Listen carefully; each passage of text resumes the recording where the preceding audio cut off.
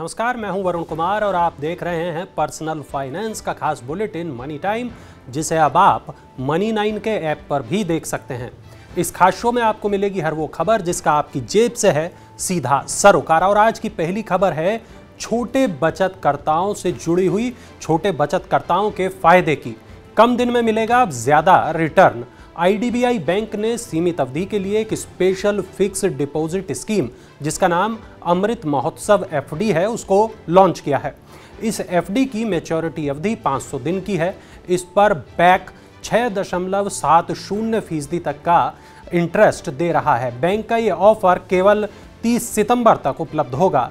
Bank ने कहा कि जनरल पब्लिक को कैलेबल डिपॉजिट पर छः दशमलव एक शून्य फ़ीसदी और नॉन कैलेबल डिपॉजिट पर छः दशमलव दो शून्य फ़ीसदी का ब्याज देगा।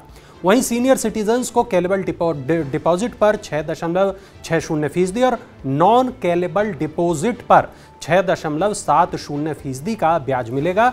कैलेबल डिपॉजिट का मतलब ऐसे जमा से है जिसे मैच्योरिटी डेट से पहले विड्रॉ किया जा सकता है, जबकि नॉन कैलेबल डिपॉजिट में मैच्योरिटी डेट से पहले पैसा नहीं निकाला जा सकता। बैंक बचत खाते में जमा रकम से कमाई होगी क्योंकि इस बैंक ने इंटरेस्ट रेट को बढ़ा दिया है। प्राइवेट सेक्टर के डीसीबी बैंक ने बचत खाते पर मिलने वाले इंटरेस्ट रेट को बढ़ा दिया है। बचत खाते में एक लाख रुपए से कम की जमा पर दो दशमलव दो पाँच फ़ीसदी बैंक ब्याज देगा। एक लाख से दो लाख रुपए के बीच की जमा रकम पर अब चार फ़ीसदी ब्याज दिया जाएगा। दो लाख से पाँच लाख रुपए की जमा पर पाँच फ़ीसदी और पाँच लाख से दस लाख रुपए से कम की जमा पर छः फ़ीसदी ब्याज दिया जाएगा। दस लाख रुपए से ज़्यादा, लेकिन 25 लाख रुपए से कम की जमा पर ग्राहकों को छह दशमलव सात पाँच फ़ीसदी का ब्याज मिलेगा। 25 लाख से लेकर दो करोड़ रुपए तक की जमा पर बैंक सात फ़ीसदी की ब्याज की पेशकश कर रहा है। एफडी वालों के लिए आ गए हैं अच्छे दिन। आठ फ़ीसदी ब्याज दे रहा है ये स्मॉल फाइनेंस बैंक।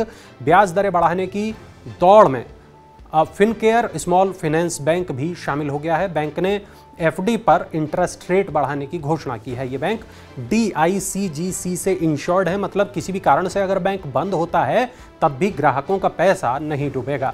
बैंक के मुताबिक एक हज़ार दिन की एफडी पर सामान्य जनता को अब साढ़े सात फ़ीसदी और सीनियर सिटीजन को आठ फ़ीसदी ब्याज की पेशकश की जा रही है।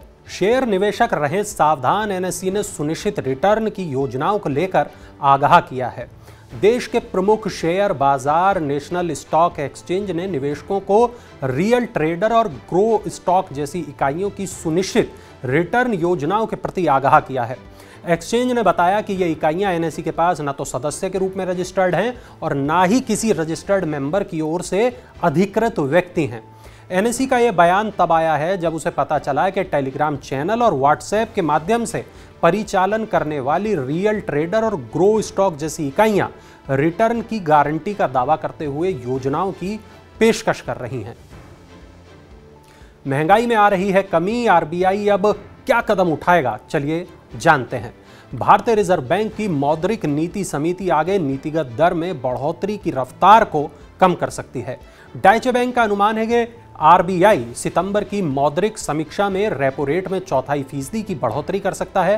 केंद्रीय बैंक इस साल मई से रेपो रेट में एक दशमलव चार शून्य फ़ीसदी की बढ़ोतरी कर चुका है। महँगाई अभी भी रिज़र्व बैंक के छह फ़ीसदी के संतोषजनक स्तर से ऊपर बनी हुई है, जिसके कारण केंद्रीय बैंक ने नीतिगत दरों में तीन बार एक दशमलव चार शून्य फ़ीसदी की बढ़ोतरी की है। यहाँ से रिज़र्व बैंक ब्याज दरों की बढ़ने की रफ्तार को अब कम करेगा। वाहन मालिकों को सरकार ने दी बड़ी राहत बी एस सिक्स स्टैंडर्ड वाहनों में लगा सकेंगे सीएनजी और एलपीजी किट।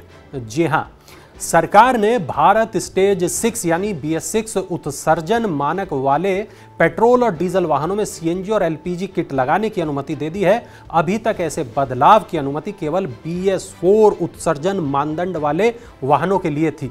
सड़क परिवहन एवं राजमार्ग मंत्रालय ने बी एस सिक्स पेट्रोल वाहनों में सीएनजी और एलपीजी किट लगाने और साढ़े तीन टन से कम डीजल इंजनों को सीएनजी, एलपीजी इंजन से बदलने की अधिसूचना जारी की है।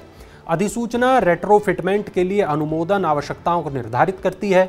सीएनजी एक पर्यावरण अनुकूल ईंधन है और पेट्रोल और डीजल इंजन की तुलना में कार्बन मोनोक्साइड, हाइड्रोकार्बन और धुएँ आदि के उत्सर्जन का स्तर इसमें कम होता है। दिल्ली में प्रत्येक पंद्रह इलेक्ट्रिक वाहनों के लिए होगा एक चार्जिंग स्टेशन। 2024 तक बनकर तैयार हो जाएगा इंफ्रास्ट्रक्चर। दिल्ली सरकार ने साल 2024 तक हर एक पंद्रह इलेक्ट्रिक वाहनों के लिए एक सार्वजनिक चार्जिंग स्टेशन उपलब्ध कराने की कार्य योजना बनाई है। इलेक्ट्रिक वाहनों के लिए नई नीति के तहत सरकार बैटरी स्वैपिंग सुविधा का संचालन करने वालों को प्रोत्साहन भी देगी। योजना में कहा गया कि अगर वाहन के साथ बैटरी नहीं बेची जाती है तो बिजली संचालकों को खरीद प्रोत्साहन का 50 फ़ीसदी तक। ये सुनिश्चित करने के लिए दिया जाएगा कि अंतिम यूज़र्स को बड़ी जमा राशि का भुगतान नहीं करना पड़े। बैटरियों की लागत आमतौर पर कुल ईवी लागत का 40 से 50 फ़ीसदी होती है और ये ईवी यूज़र्स को बैटरी खराब होने के जोखिम से भी बचाती है।